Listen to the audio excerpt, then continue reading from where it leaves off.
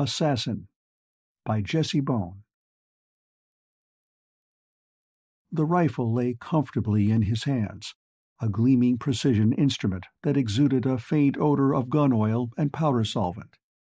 It was a perfect specimen of the gunsmith's art, a semi-automatic rifle with a telescopic sight, a precisely engineered tool that could hurl death with pinpoint accuracy for better than half a mile. Daniel Matson eyed the weapon with bleak gray eyes, the eyes of a hunter framed in the passionless face of an executioner. His blunt hands were steady as they lifted the gun and tried a dry shot at an imaginary target. He nodded to himself. He was ready. Carefully, he laid the rifle down on the mattress which covered the floor of his firing point, and looked out through the hole in the brickwork to the narrow canyon of the street below. The crowd had thickened. It had been gathering since early morning, and the growing press of spectators had now become solid walls of people lining the street, packed tightly together on the sidewalks. Yet, despite the fact that there were virtually no police, the crowd did not overflow into the streets nor was there any of the pushing, crowding impatience that once attended an assemblage of this sort. Instead, there was a placid tolerance, a spirit of friendly goodwill, an ingenuous complacence that grated on Matson's nerves like the screeching rasp of a file drawn across the edge of thin metal. He shivered uncontrollably. It was hard to be a free man in a world of slaves. It was a measure of the Aztlan's triumph that only a bare half dozen police copters patrolled the empty skies above the parade route. The aliens had done this, had conquered the world without firing a shot or speaking a word in anger. They had wooed Earth with understanding patience and superlative guile, and Earth had fallen into their hands like a lovesick virgin. There never had been any real opposition, and what there was had been completely ineffective. Most of those who had opposed the aliens were out of circulation, imprisoned in correctional institutions, undergoing rehabilitation. Rehabilitation. A six-bit word for dehumanizing. When those poor devils finished their treatment with Aztlan brainwashing techniques, they would be just like these sheep below, with the difference that they would never be able to be anything else. But these other stupid fools crowding the sidewalks, waiting to hail their destruction, these were the ones who must be saved. They, not the martyrs of the underground, were the important part of humanity. A police copter windmilled slowly down the avenue toward his hiding place, the rotating vanes and insect body of the craft starkly outlined against the jagged backdrop of the city's skyline. He laughed soundlessly as the susurrating flutter of the rotor blades beat overhead and died whispering in the distance down the long canyon of the street. His position had been chosen with care, and was invisible from air and ground alike. He had selected it months ago, and had taken considerable pains to conceal its true purpose. But after today concealment wouldn't matter. If things went as he hoped, the place might some day become a shrine. The idea amused him. Strange, he mused, how events conspire to change a man's career. Seven years ago he had been a respected and important member of that far different sort of crowd which had welcomed the visitors from space. That was a human crowd, half afraid, wholly curious, jostling, noisy, pushing, a teeming swarm that clustered in a thick, disorderly ring about the silver disk that lay in the center of the international airport overlooking Puget Sound. Then he could have predicted his career, and none of the predictions would have been true, for none included a man with a rifle waiting in a blind for the game to approach within range. The Aztlan ship had landed early that July morning, dropping silently through the overcast covering International Airport. It settled gently to rest precisely in the center of the junction of the three main runways of the field, effectively tying up the transcontinental and transoceanic traffic. Fully 500 feet in diameter, the giant ship squatted massively on the runway junction, cracking and buckling the thick concrete runways under its enormous weight. By noon after the first skepticism had died, and the unbelievable TV pictures had been flashed to their waiting audience, the crowd began to gather. All through that hot July morning they came, increasing by the minute as farther outlying districts poured their curious into the airport. By early afternoon, literally hundreds of millions of eyes were watching the great ship over a worldwide network of television stations, which canceled their regular programs to give their viewers an uninterrupted view of the enigmatic craft.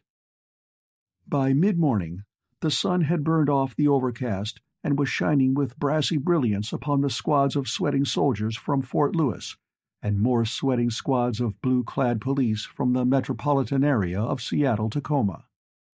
The police and soldiery quickly formed a ring around the ship and cleared a narrow lane around the periphery, and this they maintained despite the increasing pressure of the crowd. The hours passed and nothing happened. The faint creaking and snapping sounds as the seamless hull of the vessel warmed its space-chilled metal in the warmth of the summer sun were lost in the growing impatience of the crowd.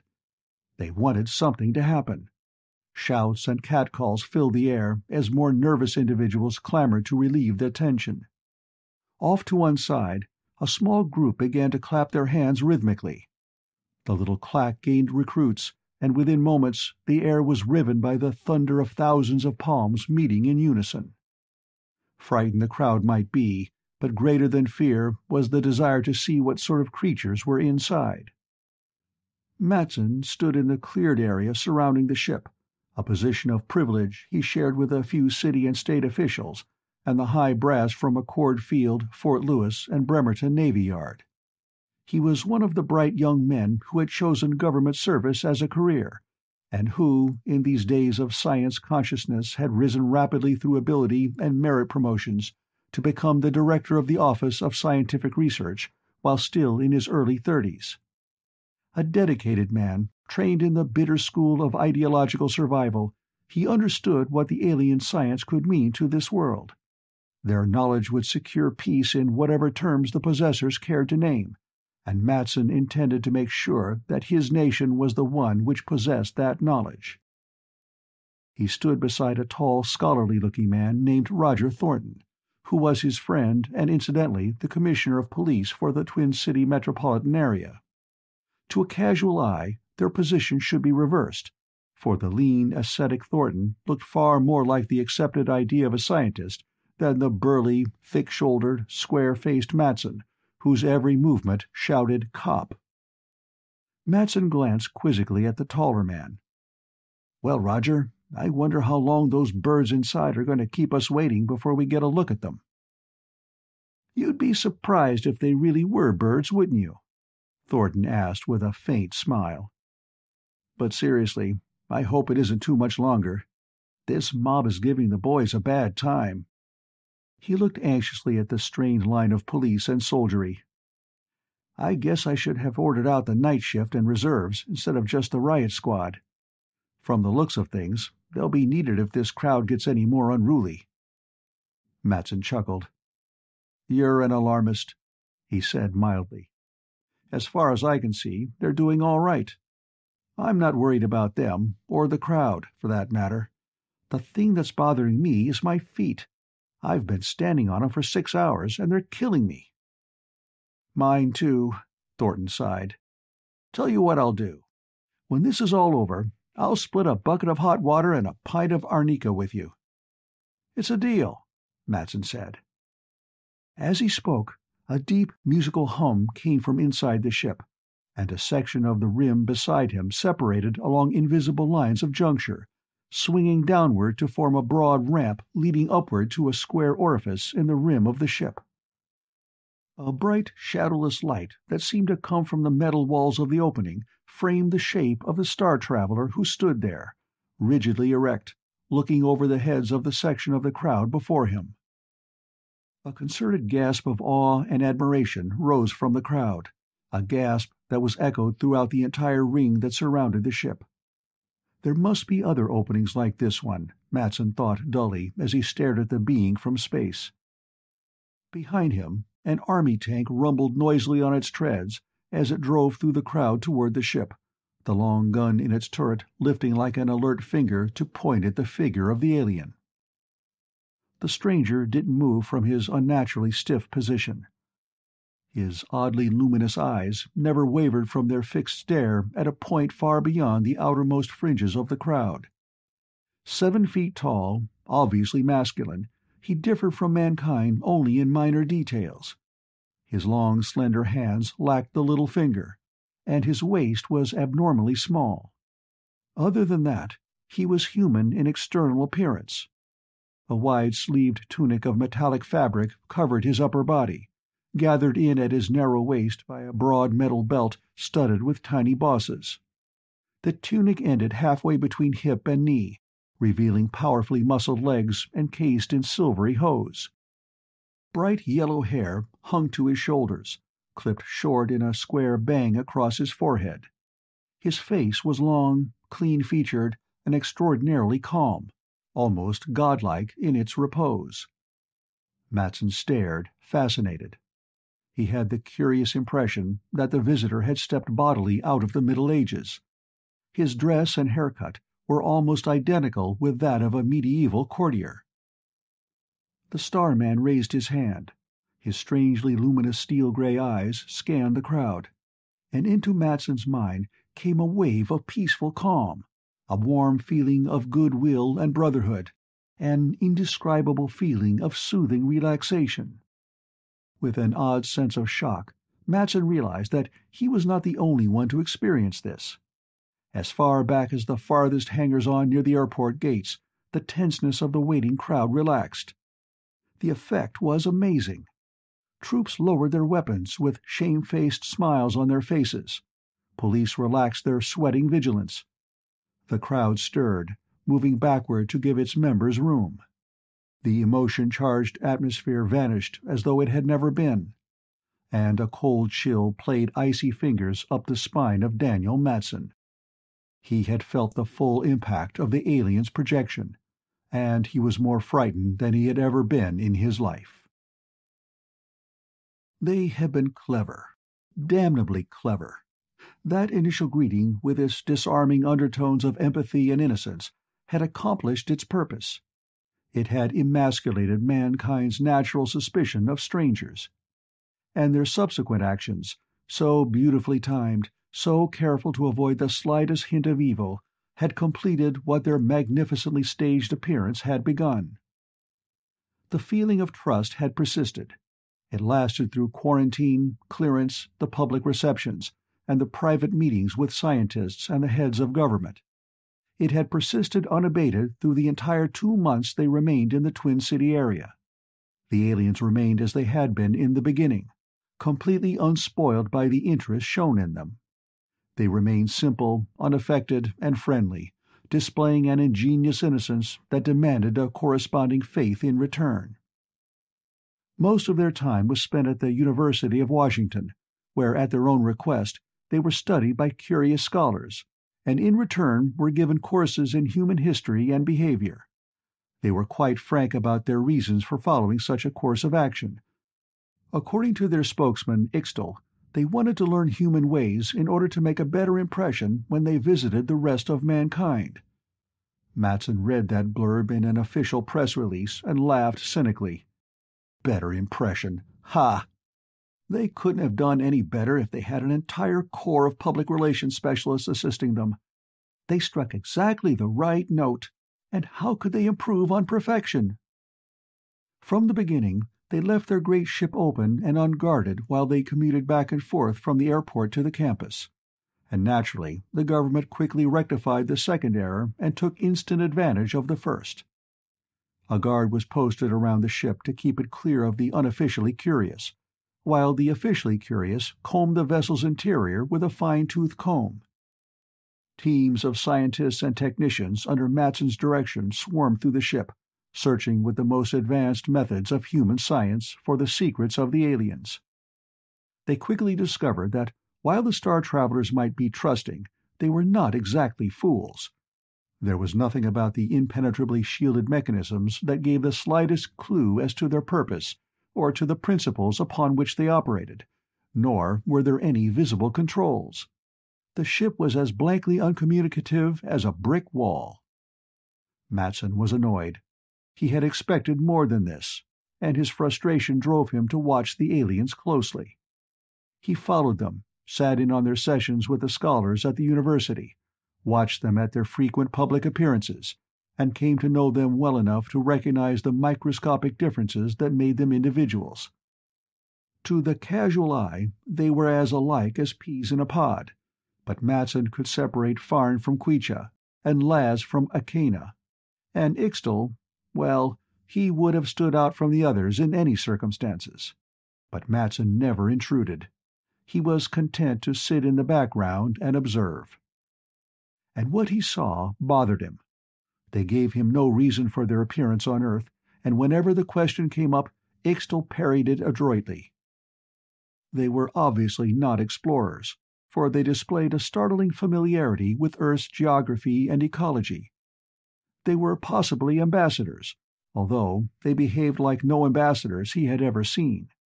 They might be traders, although what they would trade only God and the aliens knew, and neither party was in a talking mood.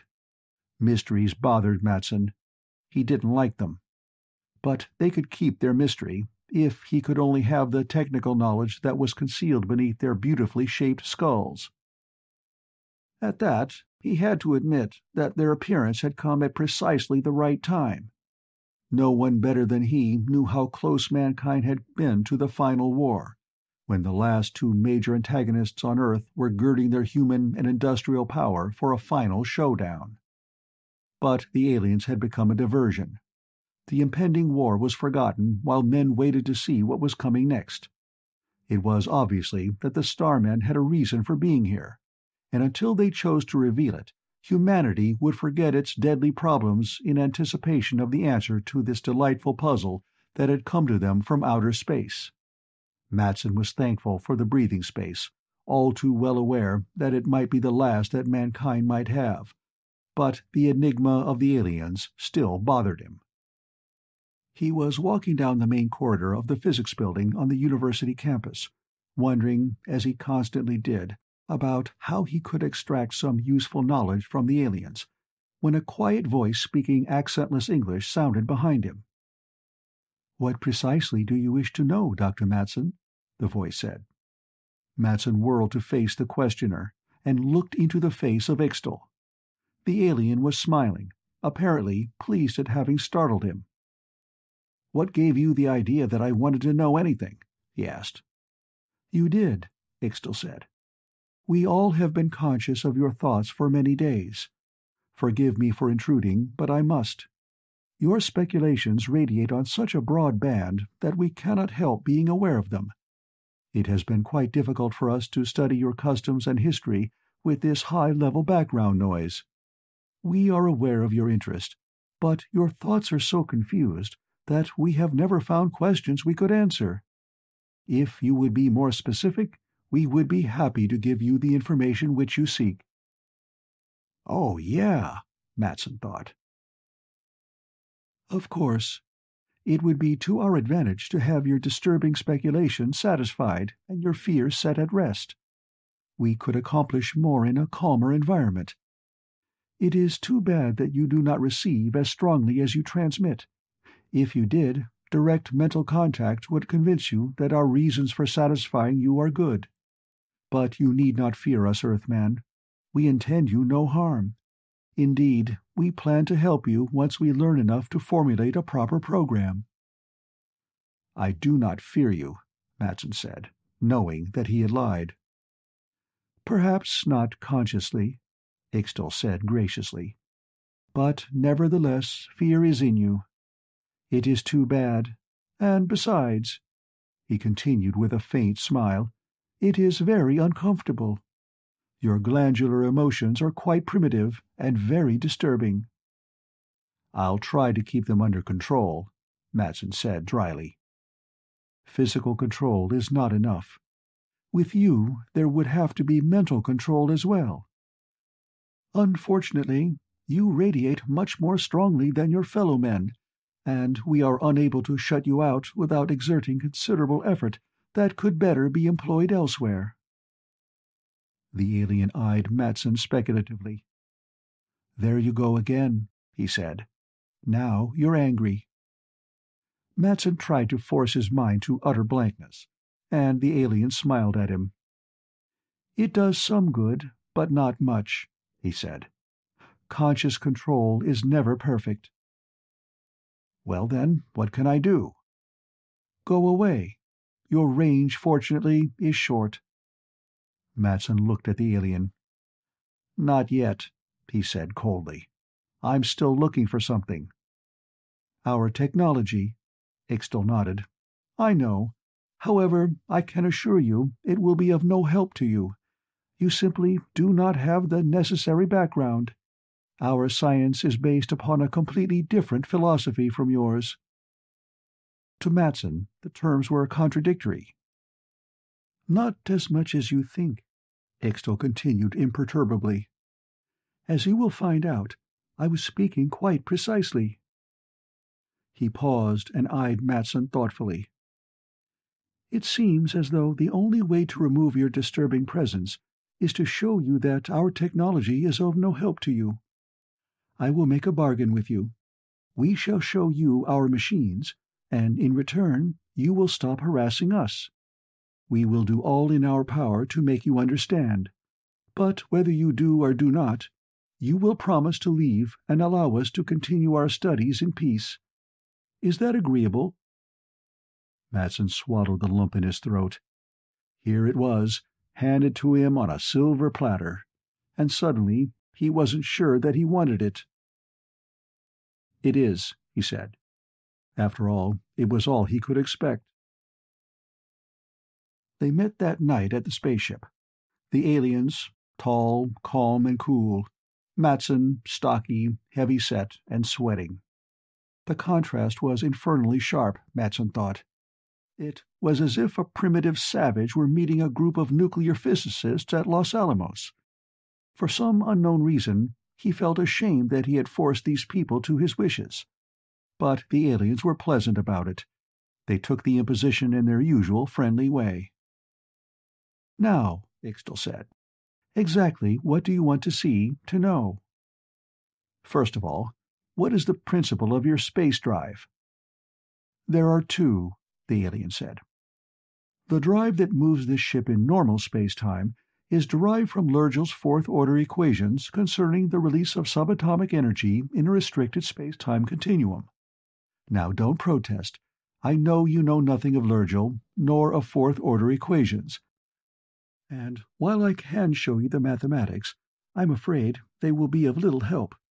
You see, our fourth order is based upon a process which you would call psychomathematics, and that is something I am sure you have not yet achieved.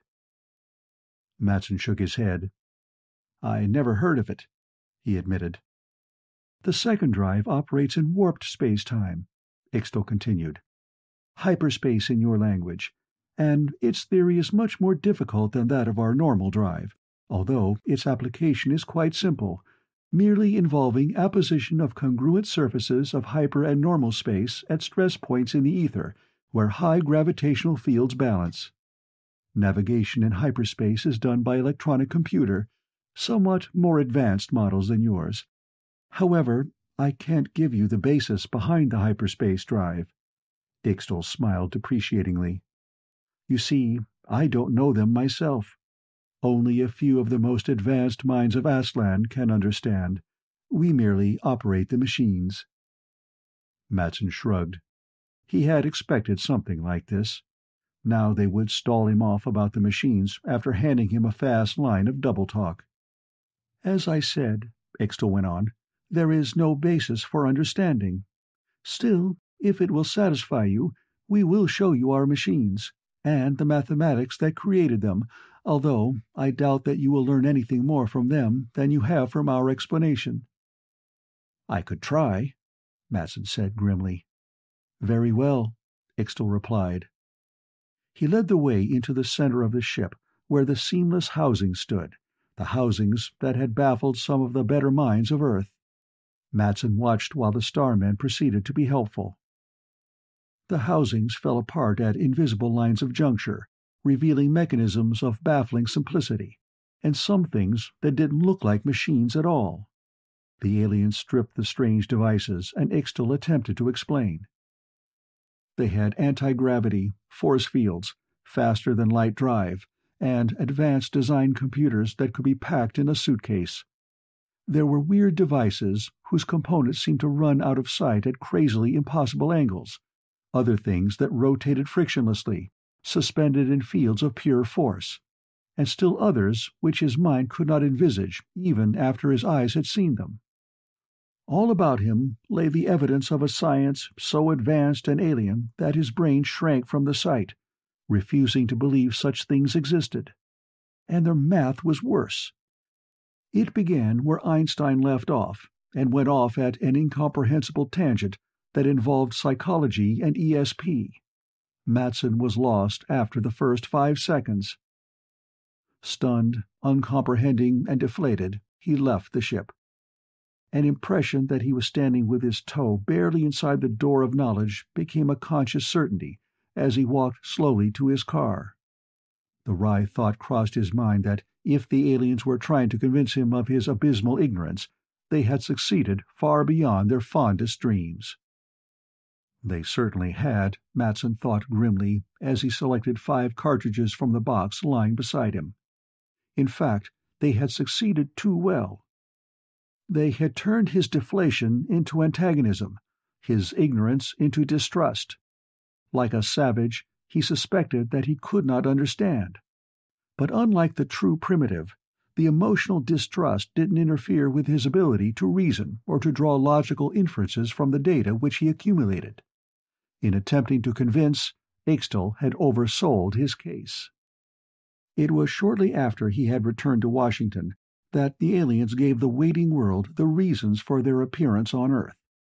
They were, they said, members of a very ancient, highly evolved culture called Aztlan, and the Aztlans, long past the need for conquest and expansion, had turned their mighty science to the help of other, less fortunate races in the galaxy.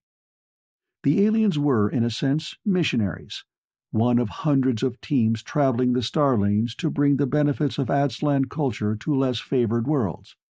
They were, they unblushingly admitted, altruists, interested only in helping others. It was pure corn, Matson reflected cynically, but the world lapped it up and howled for more. After decades of Cold War, lukewarm war, and sporadic outbreaks of violence, that were inevitably building to atomic destruction, men were willing to try anything that would ease the continual burden of strain and worry.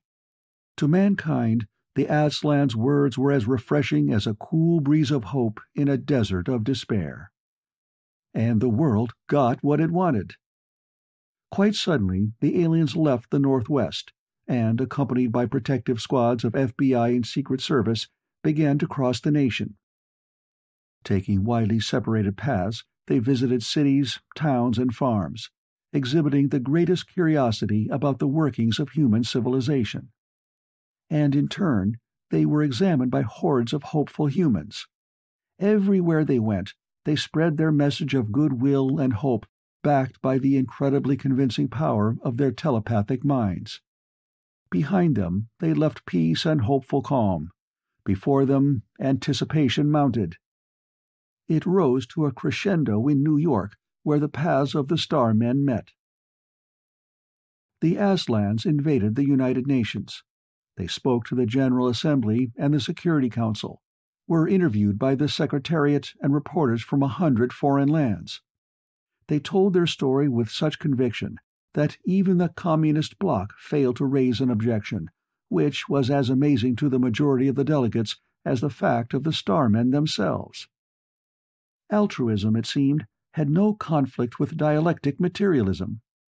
The aliens offered a watered down variety of their technology to the peoples of Earth with no strings attached, and the governments of Earth accepted with open hands much as a small boy accepts a cookie from his mother. It was impossible for men to resist the lure of something for nothing, particularly when it was offered by such people as the Aztlans. After all, Matson reflected bitterly, nobody shoots Santa Claus. From every nation in the world came invitations to the aliens to visit their lands. The Starmen cheerfully accepted.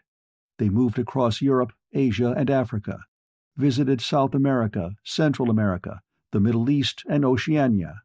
No country escaped them. They absorbed languages, learned customs, and spread goodwill. Everywhere they went, relaxation followed in their footsteps, and throughout the world arose a realization of the essential brotherhood of man. It took nearly three years of continual traveling before the aliens again assembled at UN headquarters to begin the second part of their promised plan to give their science to Earth. And men waited with calm expectation for the dawn of Golden Age. Matson's lips twisted. Fools. Blind, stupid fools. Selling their birthright for a mess of pottage. He shifted the rifle across his knees and began filling the magazine with cartridges. He felt an empty loneliness as he closed the action over the filled magazine and turned the safety to on. There was no comforting knowledge of support and sympathy to sustain him in what he was about to do. There was no real hope that there ever would be. His was a voice crying in the wilderness, a voice that was ignored, as it had been when he visited the President of the United States. Matson entered the White House, presented his appointment card, and was ushered past ice-eyed Secret Service men into the presidential office. It was as close as he had ever been to the chief executive, and he stared with polite curiosity across the width of desk which separated them. I wanted to see you about the Aztlan business, the president began without preamble. You were there when their ship landed, and you're also one of the few men in the country who has seen them alone. In addition, your office will probably be handling the bulk of our requests in regard to the offer they made yesterday in the UN. You are in a favorable spot. The president smiled and shrugged. I wanted to talk with you sooner, but Business and routine play the devil with one's desires in this office. Now tell me, he continued, your impression of these people. They're an enigma, Matson said flatly. To tell the truth, I can't figure them out. He ran his fingers through his hair with a worried gesture. I'm supposed to be a pretty fair physicist, and I've had quite a bit of training in the social sciences, but both the mechanisms and the psychology of these Aztlans are beyond my comprehension. All I can say for sure is that they're as far beyond us as we are beyond the cavemen. In fact, we have so little in common that I can't think of a single reason why they would want to stay here, and the fact that they do only adds to my confusion. But you must have learned something, the President said. Oh, we've managed to collect data, Matson replied. But there's a lot of difference between data and knowledge. I can appreciate that, but I'd still like to know what you think. Your opinion could have some weight. Matson doubted it. His opinions were contrary to those of the majority. Still, the chief asked for it, and he might possibly have an open mind. It was a chance worth taking. Well, sir, I suppose you've heard of the so-called wild talents some of our own people occasionally possess? The President nodded. It is my belief that the Aztlans possess these to a far greater degree than we do, and that their science is based upon them. They have something which they call psychomathematics, which by definition is the mathematics of the mind, and this seems to be the basis of their physical science. I saw their machines, and I must confess that their purpose baffled me, until I realized that they must be mechanisms for amplifying their own natural equipment. We know little or nothing about psi phenomena, so it is no wonder I couldn't figure them out. As a matter of fact, we've always treated psi as something that shouldn't be mentioned in polite scientific conversation. The president grinned. I always thought you boys had your blind spots. We do. But when we're confronted with a fact, we try to find out something about it. That is, if the fact hits us hard enough, often enough. Well, you've been hit hard and often, the president chuckled. What did you find out? Facts, Matson said grimly. Just facts. things that could be determined by observation and measurement. We know that the aliens are telepathic. We also know that they have a form of ESP, or perhaps a recognition of danger would be a better term, and we know its range is somewhat over a third of a mile. We know that they're telekinetic. The lack of visible controls in their ship would tell us that, even if we hadn't seen them move small objects at a distance. We know that they have eidetic memories, and that they can reason on an extremely high level. Other than that, we know nothing. We don't even know their physical structure. We've tried X ray, but they're radio opaque. We've tried using some human sensitives from the Rhine Institute, but they're unable to get anywhere. They just turn empathic in the alien's presence, and when we get them back, they do nothing but babble about the beauty of the Aztlan soul. Considering the difficulties, you haven't done too badly, the President said. I take it, then, that you're convinced that they are an advanced life form.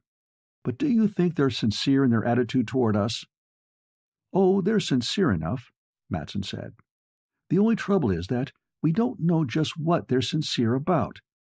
You see, sir, we are in the position of a savage to whom a trader brings the luxuries of civilization.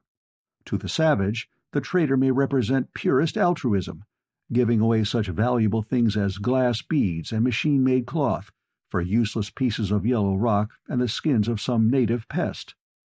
The savage hasn't the slightest inkling that he's being exploited.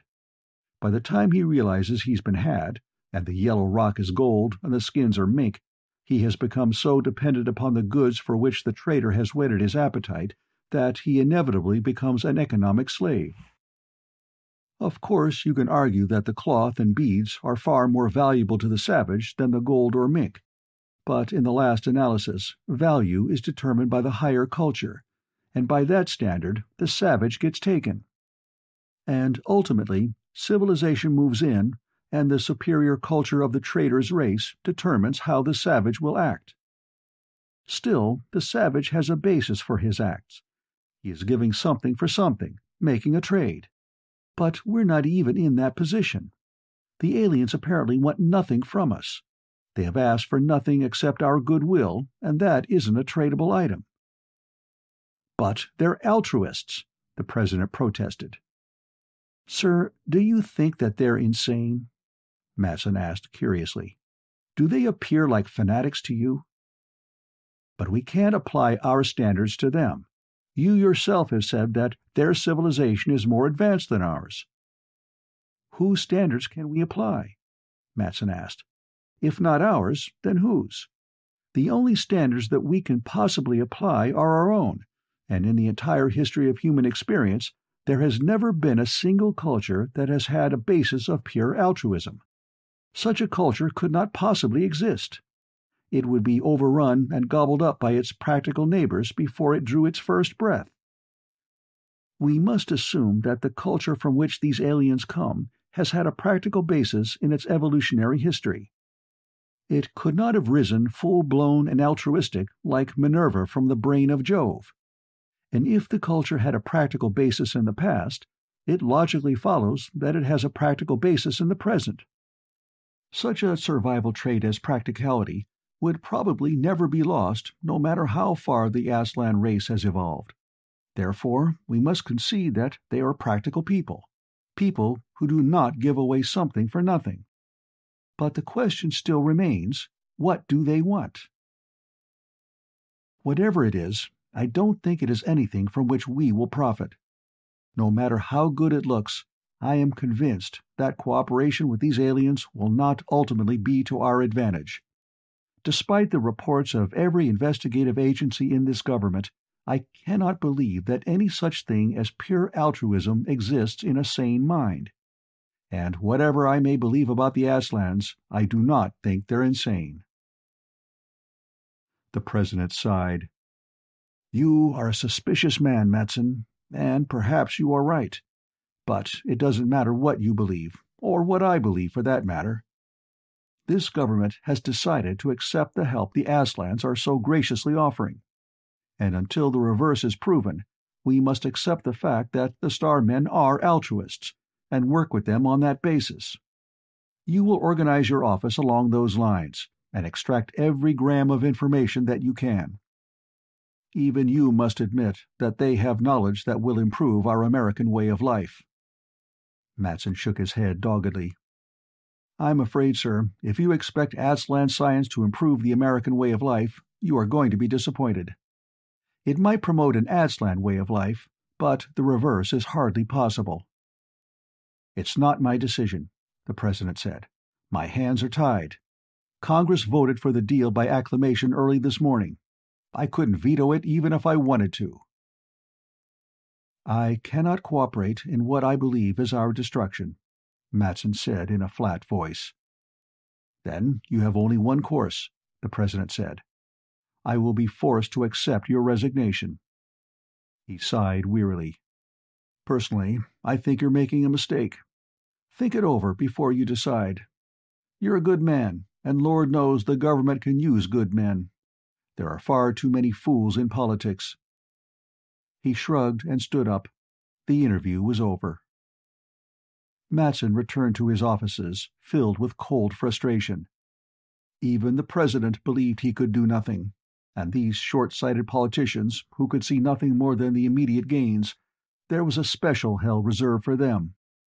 There were too many fools in politics. However, he could do what he could. His sense of duty was stronger than his resentment.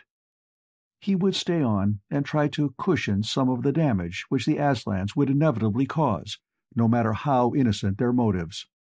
And perhaps the President was right. Perhaps the alien science would bring more good than harm. For the next two years, Matson watched the spread of Aztlan ideas throughout the world. He saw Aztlan devices bring health, food, and shelter to millions in underprivileged countries, and improve the lot of those in more favored nations. He watched tyrannies and authoritarian governments fall under the passive resistance of their peoples.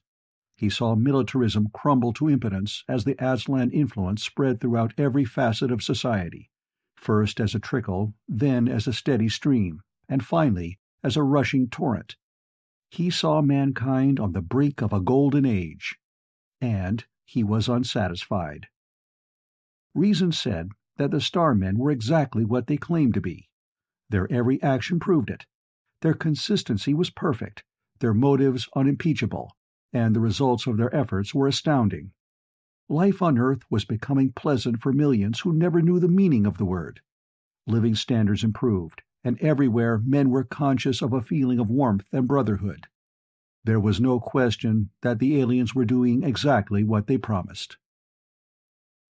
But reason also told him that the aliens were subtly and methodically destroying everything that man had created, turning him from an individual into a satisfied puppet operated by Aztlan strings. For man is essentially lazy, always searching for the easier way why should he struggle to find an answer when the Aztlans had discovered it millennia ago and were perfectly willing to share their knowledge? Why should he use inept human devices when those of the aliens performed similar operations with infinitely more ease and efficiency? Why should he work when all he had to do was ask? There was plan behind their acts. But at that point reason dissolved into pure speculation. Why were they doing this? Was it merely mistaken kindliness, or was there a deeper, more subtle motive? Matson didn't know, and in that lack of knowledge lay the hell in which he struggled. For two years he stayed on with the OSR, watching humanity rush down an unmarked road to an uncertain future. Then he ran away. He could take no more of this blind dependence upon alien wisdom. And with the change in administration that had occurred in the fall elections, he no longer had the sense of personal loyalty to the President which had kept him working at a job he despised. He wanted no part of this brave new world the aliens were creating. He wanted to be alone. Like a hermit of ancient times who abandoned society to seek his soul, Matson fled to the desert country of the southwest, as far as possible from the Aztlans and their works. The grimly beautiful land toughened his muscles, blackened his skin, and brought him a measure of peace. Humanity retreated to remoteness, except for Seth Winters, a leathery old-timer he had met on his first trip into the desert. The acquaintance had ripened to friendship. Seth furnished a knowledge of the desert country which Matson lacked, and Matson's money provided the occasional grubstake they needed. For weeks at a time they never saw another human, and Matson was satisfied. The world could go its own way, he would go his. Running away was the smartest thing he could have done. Others, more brave perhaps, or perhaps less rational, had tried to fight, to form an underground movement to oppose these altruists from space. But they were a tiny minority, so divided in motives and purpose that they could not act as a unit. They were never more than a nuisance, and without popular support they never had a chance. After the failure of a complicated plot to assassinate the aliens, they were quickly rounded up and confined, and the aliens continued their work. Matson shrugged. It was funny how little things could mark mileposts in a man's life. If he had known of the underground, he probably would have joined it and suffered the same penalty for failure. If he hadn't fled, if he hadn't met Seth Winters, if he hadn't taken that last trip into the desert, if any one of a hundred little things had happened differently, he would not be here. That last trip into the desert. He remembered it as though it were yesterday. The yellow flare of a greasewood fire cast flickering spears of light into the encircling darkness. Above, in the purplish black vault of the moonless sky, the stars shone down with icy splendor. The air was quiet, the evening breeze had died, and the stillness of the desert night pressed softly upon the earth. Far away, muted by distance, came the ululating wail of a coyote. Seth Winters laid another stick of quick-burning greasewood on the fire and squinted across the smoke at Matson, who was lying on his back, arms crossed behind his head, eyeing the night sky with the fascination of a dreamer. It's certainly peaceful out here, Matson murmured as he rose to his feet, stretched, and sat down again, looking into the tiny fire. "'Tain't nothing unusual, Dan'l. Not out here, it ain't. It's been plumb peaceful on this here desert nigh onto a million years. And why is it peaceful? Mainly 'cause there ain't too many humans messin' around in it." "Possibly you're right, Seth. Sure I'm right. It just ain't natural for a bunch of homo sapes to get together without an argument startin' somewhere. Tain't the nature of the critter to be peaceful. And you know, that's the part of this here sweetness and light between nations that bothers me. Last time I was in Prescott, I set down and read six months of newspapers, and everything's just too damn good to be true. Seems like everybody's getting to love everybody else. He shook his head. The whole world's as sticky sweet as molasses candy. It just ain't natural. The Starmen are keeping their word. They said they would bring us peace. Isn't that what they're doing? Shucks, Dan'l, that don't give 'em no call to make the world a blasted honeypot with everybody bubblin' over with brotherly love. There ain't no real excitement left. Even the commies ain't raisin' hell like they used to. People are gettin' more like a bunch of damn woolies every day. I'll admit that mankind had herd instincts, Matson replied lazily. But I've never thought of them as particularly sheep-like. More like a wolf pack, I'd say. Well, there's nothing wolf-like about 'em right now. Look, Dan'l, you know what a wolf pack's like. They're smart, tough, and mean, and the old boss wolf is the smartest, toughest, meanest critter in the whole pack. The others respect him 'cause he's proved his ability to lead. But take a sheep flock now. The bellwether is just a nice, gentle old castrate that'll do just what the sheep herder wants. He's got no originality. He's just a noise that the rest foller. Could be. It sure is. Just for instance, and speaking of bellwethers, have you ever heard of a character called Throckmorton Bixby? Can't say I have. He sounds like a Nance. Whatever a Nance is, he's it. But you're talking about our next president, unless all the prophets are wrong. He's just as bad as his name. Of all the gutless wonders I've ever heard of, that pilgrim takes the prize. He even looks like a rabbit. I can see where I had better catch up on some contemporary history, Matson said. I've been out in the sticks too long. If you know what's good for you, you'll stay here. The rest of the country's going to hell. Brother Bixby's just a sample. About the only thing that'd recommend him is that he's hot for peace, and he's got those furriners' blessing. Seems like those freaks swing a lot of weight nowadays, and they ain't shy about telling folks who and what they favor. They've got bold as brass this past year. Matson nodded idly, then stiffened, turning a wide-eyed stare on Seth. A blinding light exploded in his brain as the words sank in. With crystal clarity, he knew the answer. He laughed harshly. Winter stared at him with mild surprise. What's bit you, Daniel? But Matson was completely oblivious, busily buttressing the flash of inspiration. Sure, that was the only thing it could be. Those aliens were working on a program, one that was grimly recognizable once his attention was focused on it. There must have been considerable pressure to make them move so fast that a short-lived human could see what they were planning. But Matson had a good idea of what was driving them. An atomic war that could decimate the world would be all the spur they'd need. They weren't playing for penny ante stakes. They didn't want to exploit mankind. They didn't give a damn about mankind. To them, humanity was merely an unavoidable nuisance, something to be pushed aside, to be made harmless and dependent, and ultimately to be quietly and bloodlessly eliminated. Man's civilization held nothing that the star men wanted, but man's planet, that was a different story. Truly, the aliens were right when they considered man a savage. Like a savage, man didn't realize his most valuable possession was his land. The peaceful penetration was what had fooled him. Mankind, faced with a similar situation, and working from a position of overwhelming strength, would have reacted differently. Humanity would have invaded and conquered. But the aliens had not even considered this obvious step. Why?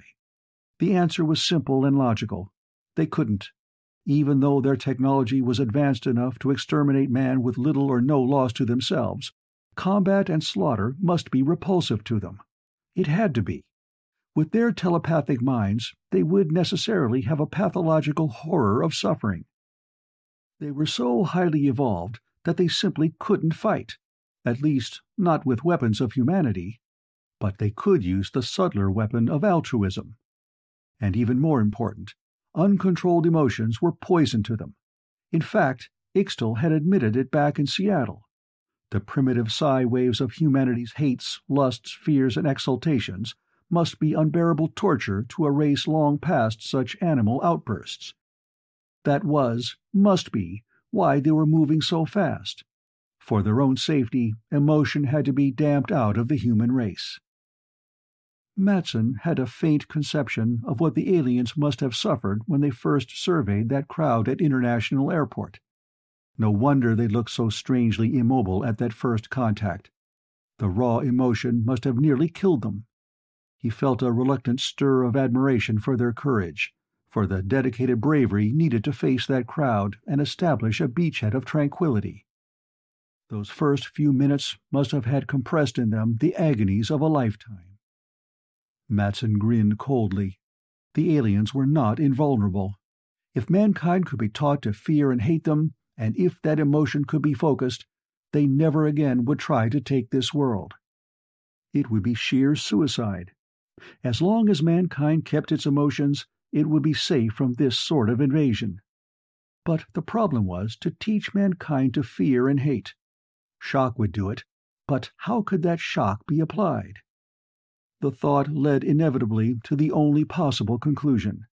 The aliens would have to be killed, and in such a manner as to make humanity fear retaliation from the stars. Fear would unite men against a possible invasion, and fear would force men to reach for the stars to forestall retribution. Matson grinned thinly Human nature couldn't have changed much these past years. Even with master psychologists like the Aztlans operating upon it, changes in emotional pattern would require generations.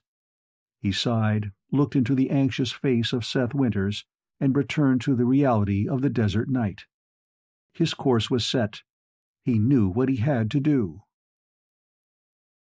He laid the rifle across his knees and opened the little leather box sewn to the side of the gun case.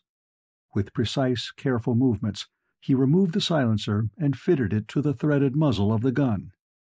The bulky blue excrescence changed the rifle from a thing of beauty to one of murder. He looked at it distastefully, then shrugged and stretched out on the mattress, easing the ugly muzzle through the hole in the brickwork. It wouldn't be long now. He glanced upward through the window above him at the Weather Bureau instruments atop a nearby building. The metal cups of the anemometer hung motionless against the metallic blue of the sky. No wind stirred in the deep canyons of the city streets as the sun climbed in blazing splendor above the towering buildings.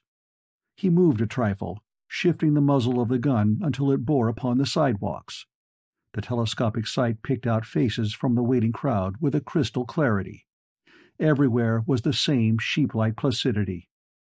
He shuddered, the sights jumping crazily from one face to another, wondering if he had misjudged his race, if he had really come too late, if he had underestimated the powers of the Aztlans. Far down the avenue an excited hum came to his ears, and the watching crowd stirred. Faces lighted, and Matson sighed. He was not wrong. Emotion was only suppressed, not vanished. There was still time. The aliens were coming. Coming to cap the climax of their pioneer work, to drive the first nail in humanity's coffin. For the first time in history, man's dream of the brotherhood of man was close to reality. And he was about to destroy it. The irony bit into Matson's soul, and for a moment he hesitated feeling the wave of tolerance and goodwill rising from the street below. Did he have the right to destroy man's dream? Did he dare tamper with the will of the world? Had he the right to play God? The parade came slowly down the happy street, a kaleidoscope of color and movement that approached and went past in successive waves and masses. This was a gala day, this eve of world union. The insignia of the UN was everywhere, the aliens had used the organization to further their plans, and it was now all powerful. A solid bank of UN flags led the van of delegates, smiling and swathed in formal dress, sitting erect in their black official cars draped with the flags of native lands that would soon be furled forever if the aliens had their way. And behind them came the Aztlans. They rode together, standing on a pure white float, a bar of dazzling white in a sea of color. All equal, their inhumanly beautiful faces calm and remote, the Aztlans rode through the joyful crowd. There was something inspiring about the sight, and for a moment Matson felt a wave of revulsion sweep through him. He sighed and thumbed the safety to off, pulled the cocking lever, and slid the first cartridge into the breech. He settled himself, drawing a breath of air into his lungs, letting a little dribble out through the slack lips, catching the remainder of the exhalation with closed glottis. The sights wavered and steadied upon the head of the center alien, framing the pale noble face with its aureole of golden hair. The luminous eyes were dull and introspective as the alien tried to withdraw from the emotions of the crowd. There was no awareness of danger on the alien's face. At six hundred yards he was beyond their Esper range, and was further covered by the feelings of the crowd. The sights lowered to the broad chest, and centered there as Matson's spatulate fingers took up the slack in the trigger and squeezed softly and steadily.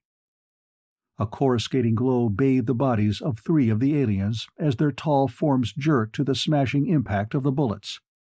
Their metallic tunics melted and sloughed, as inner fires ate away the fragile garments that covered them.